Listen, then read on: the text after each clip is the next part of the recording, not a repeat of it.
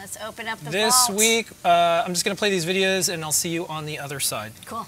Okay, Lady Ada, what is this? Hey, we're back at the Adafruit factory uh, making prototypes. My stencils didn't come in yet, so I'm hand pasting these prototypes for um, my RP2040 keyboard with OLED and rotary encoder. And the way I do this is I actually have uh, solder paste in this little dispenser and I've got a nice fine tip on it. And then I very carefully uh, squeeze paste onto the pads.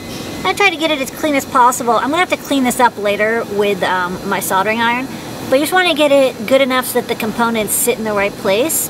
And then I'm going to use um, this collection of all my raw components, hand place them on, and then the best part is it goes to the oven, which saves me the most time. So this is gonna be very fast once I pick and place all the components on by hand. All right, Lady Ada, what is this? Okay, so I put together the prototypes for my macro pad with all those LEDs and buttons and and the OLED socket and everything. And then I got home and it's time to actually put it to the test. So this is some Arduino code running on it that uh, you can see it reacts to when key presses are pressed. I can press them all. Yeah, there you go. Uh, there's also the rotary encoder, which you can see as I turn it. It goes the right direction, and when I press it, it also knows it was pressed. And then finally, I'm doing a little I squared C scan uh, with the STEMMA QT sensor, so you can see here. When I have it plugged in, it says there's something detected. When I remove it, it's like there's nothing detected. So this is my little hardware bring up test. Uh, but so far, so good. I have a couple tweaks to do, like, you know, it's a little embarrassing, but I actually had to add a couple of 10 microfarad capacitors. I needed more capacitance, but I think it's almost done. All right, Lady Ada, what is this? Okay, so I'm still working on the bring up of my macro pad boards, and I just finished doing the Arduino core. So this is Arduino code here. You can see it's rotating and like keys are being pressed and all that. And then on the other one, I got two prototypes. I've got this with CircuitPython. One. You can see there's a Blinka friend. So this one, um, I just had to do a little bit of uh, like a patch to the core to fix like a typo bug for the SH1106 OLED driver because like the columns and rows were mixed. But I did that, and then my driver is like working great now. And then um, this code is you know kind of similar. When you press the keys, they light up, and you get the rotary encoder and the rotary button press working as well. So it's good. It means I've got the hardware working on Arduino and CircuitPython, which means it's time to write some MacroPad code. All right, Lady Ada, what is this? Hey, I'm uh, trying out a sample I got of these lamp keys. These are interesting keys. Um, they actually showed up on uh, JP's video. He's been like loving these lamp keys. You see, it's an opaque blast, black plastic key within this clear window that like you have NeoPixel LED glow through. They have this kind of cool like modern cyberpunk 80s look to them, which I really dig. Uh, so after uh, I asked JP what, what they were called, I found a supplier. They're not super cheap, but they have a great look to them.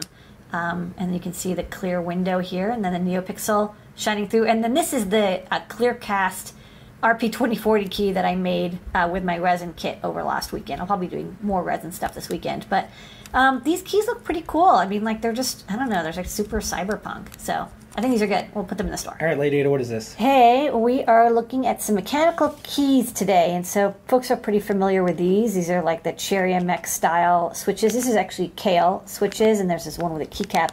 But you might be like, man, these are so chunky. I mean, they're great, but they're they're a little tall. I mean, like you know, look at look at this board, and it's kind of sticking up. What if you want something slimmer? Well, there's the Choc series, and the chocolate series from Kailh are super slim. So I got some samples, and this is the one with the keycap. Like compare this to this. It's like so much slimmer. Uh, and then there's one, here's a really nice clear keycap.